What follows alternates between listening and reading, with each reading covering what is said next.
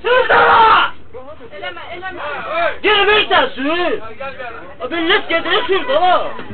İctimai nəqliyyatda çoxlu mübahisələrin şahidi olmuşuq. Kimisi yer üstündə, kimisi sürücünün avtobusu düşəcəyi yerdən kənarda saxlaması üstündə səs-küy salaraq kobud münasibətə keçir.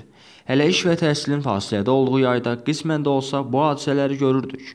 Tədris dövrünün və iş yerlərində daimi rejimin başlaması ilə əlaqədar sıxlıq zamanı hansı proseslərin şahidi olacağıq Allah bilər.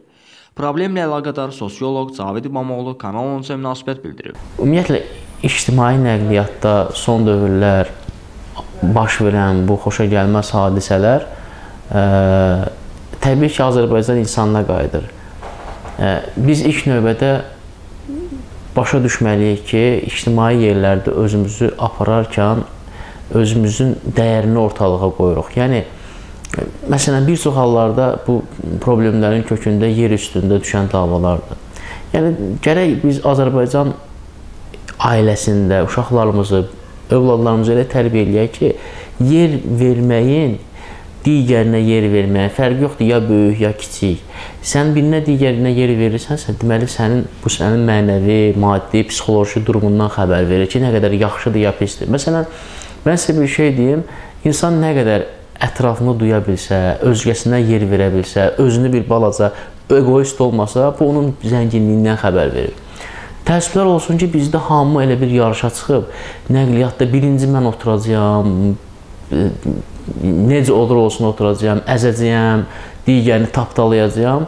Sonra da bunu özümü də müdafiə eləyəcəyəm ki, mən düzəm. Bu düzgün yanaşma deyil, bu insanlığa, bu e, ictimai münasibətlərə sıxma, sığmayan bir şeydir.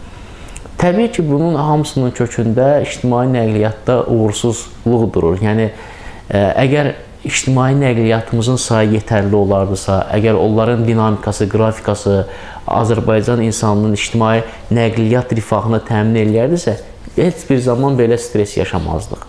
Sadə bir şey deyim, Azərbaycanda Bakı-Sumqayıt, Bakıda açılan Bakı-Sumqayıt qatarı o qədər səliqəli, gözəl, o qədər deməli müasir standartlara cavab verir ki, hələ bir nəfər orada kiminsə dava elədiyini görə bilməz.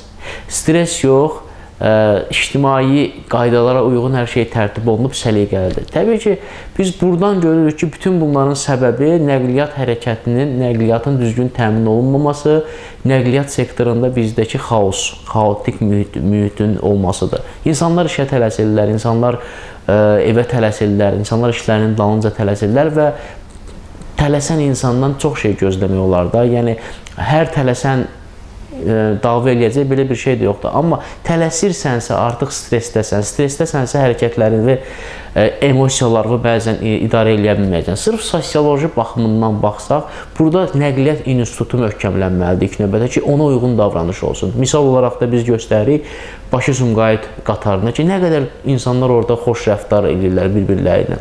Yəni e, insani faktörler durur bu məsələnin kökündə.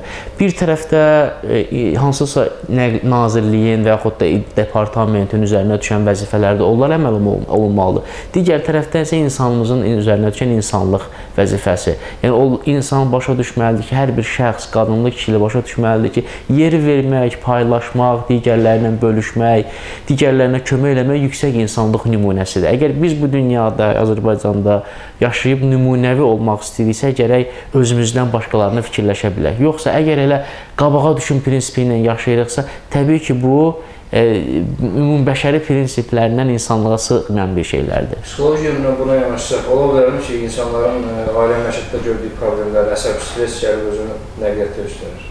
Ola bilərmi? E, ümumiyyətlə ailə bir insan çölə çıxırsa, artıq öz ailədə yaşantılarını çölə aparır da. Yəni məsələn, ailə stresslidirsə, ailədə münasibətlər sistemi gərgindirsə, həmin şəxs çölə çıxsa gərgin çıxacaq.